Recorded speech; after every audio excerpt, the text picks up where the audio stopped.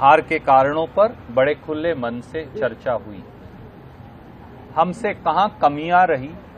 मध्य प्रदेश का मन जीतने में, मध्य प्रदेश की जनता का मन जीतने में, इस पर भी बड़े खुले मन से आत्म मंथन भी हुआ, विश्लेषण भी हुआ और चर्चा भी हुई। उन्होंने मध्य प्रदेश के सब नेताओं से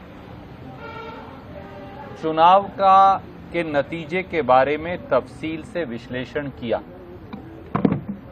सब नेताओं ने, प्रदेश कांग्रेस अध्यक्ष माननीय कमलनाथ जी ने विपक्ष के हमारे पूर्व नेता गोविंद सिंह जी ने पूर्व मुख्यमंत्री श्री दिग्विजय सिंह जी ने, वर्किंग कमेटी के हमारे सदस्य कमलेश्वर पटेल जी ने, चुनाव समिति के हमारे सदस्य ओमकार मरकम जी ने सभी नेताओं ने, पार्टी के सचिव गणों ने अपने अपने अनुभव, चुनाव को लेकर उनसे साझा किए। हार के कारणों पर बड़े खुले मन से चर्चा हुई। हमसे कहाँ कमियाँ रही? मध्य प्रदेश का मन जीतने में, मध्य प्रदेश की जनता का मन जीतने में इस पर भी बड़े खुले मन से आत्म मंथन भी हुआ, विश्लेषण भी हुआ और चर्चा भी हुई। वो सारे बिंदु जो हम सब साथियों के मन में थे, समेत मेरे।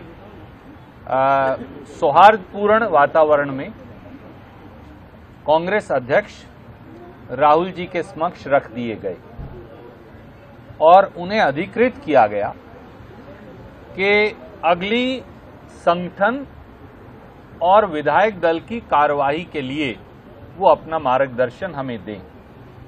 कांग्रेस अध्यक्ष जी ने सारी बातें बड़ी विस्तृत तरीके से सौहार्दपूर्ण वातावरण में सुनी, राहुल जी ने सुनी, कुछ सुझाव भी उन्होंने भविष्य को लेकर हमें दिए और आगे का निर्णय अब कांग्रेस अध्यक्ष माननीय खड़गे साहब पर हमने छोड़ दिया कि वो हमें मार्गदर्शन दें कि किस प्रकार से संगठन की रचना हो, संगठन को आगे बढ़ाएँ और हमने उन्हें अनुरोध किया कि विधायक दल की बैठक के लिए भी पर्यवेक्षक जल्दी से नियुक्त कर दिया जाए, ताकि वहाँ जाकर विधायक साथियों की राय लेकर विपक्ष का जो अगला नेता तय होना है, वो भी हो और हम मध्य प्रदेश की जनता की सेवा में जुट जाएँ।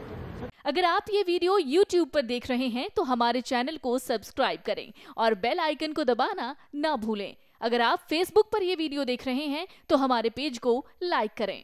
अगर आप ये वीडियो YouTube पर देख रहे हैं तो हमारे चैनल को सब्सक्राइब करें और बेल आइकन को दबाना ना भूलें। अगर आप Facebook पर यह वीडियो देख रहे हैं तो हमारे पेज को लाइक करें।